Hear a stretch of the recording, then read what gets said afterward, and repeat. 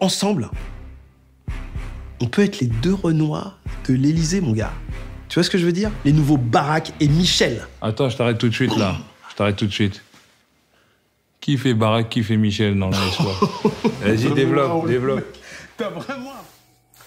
Eh bien, bonjour mes amis et bienvenue sur ma chaîne thématique sur YouTube, destinée à vous parler de films, de séries, de commentaires. C'est toujours un plaisir, mes amis, de vous retrouver avec moi. Nous sommes aujourd'hui samedi, dimanche plutôt, dimanche 29 janvier 2023. Et je vais vous parler euh, d'une série, d'une excellente série que j'ai terminée hier soir. Ça s'appelle En place. C'est une série de 2023 de 6 épisodes, numéro 1 des séries sur Netflix aujourd'hui. Et c'est avec Jean-Pascal Zadi, Eric Judor, Benoît Poulvorde. Et maintenant, voici l'histoire. Stéphane Blay, éducateur idéaliste, se retrouve propulsé dans la course présidentielle par accident. Excellente série, mes amis, que je valide évidemment. Donc, six épisodes numéro un des séries sur Netflix aujourd'hui. Et oui, pourquoi pas un éducateur spécialisé noir euh, qui vient de la banlieue euh, Pourquoi il serait pas président de la République, mes amis? Euh, Franchement, il a un désavantage par rapport aux autres politiciens, c'est que lui, il est honnête.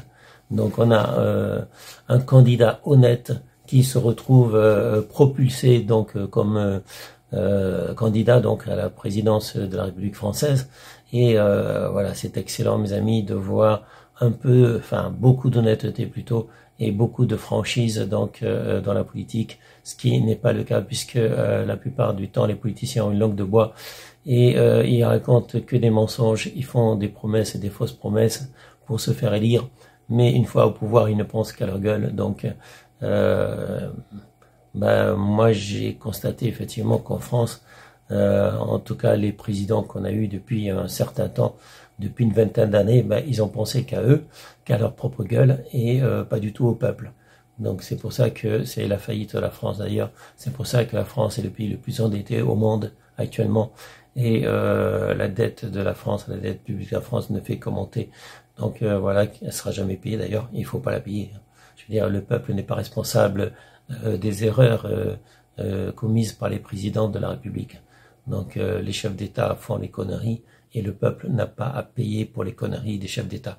Donc ils gaspillent de l'argent d'un côté et après ils demandent aux Français de faire des économies. C'est vraiment du cran n'importe quoi, mes amis. Donc euh, j'espère qu'un jour le peuple français euh, comprendra qu'il est en train de se faire avoir par euh, tous les présidents qu'ils ont élus jusqu'à l'heure et peut-être qu'un jour ils mettront au pouvoir quelqu'un d'honnête. Mais c'est pas demain la veille à mon avis. Donc en place, c'est une série qui nous apporte de la fraîcheur, mes amis parce qu'on a enfin euh, un président euh, qui, qui est honnête en fait, qui vient du peuple, contrairement à, tous les autres présidents qui ont été élus. Donc, euh, moi je vais pas en dire plus, mes amis. Je vous conseille évidemment de voir en place. Euh, moi j'ai tout vu, j'ai vu les six épisodes jusqu'à la fin. Excellente petite série parce que bon, elle est assez courte, hein, c'est que six épisodes, donc ça peut se voir une journée ou deux. Euh, moi, je l'ai commencé, c'est en deux jours que je l'ai vu, en deux jours, voilà. Donc, euh, bah, je valide. Il fait moins 3 degrés ici, mais il y a du soleil. Donc, euh, couvrez-vous bien quand même, amis, ne prenez pas froid, restez en sécurité. Donc, comme j'ai dit, portez-vous bien. Et à bientôt pour une prochaine vidéo. Salut, mes amis. Ciao, ciao. Bye bye. T'as vraiment un problème avec ça, hein. c'est dingue. Hein. Je veux pas de pécho, moi. Je veux faire de toi le prochain président de la France.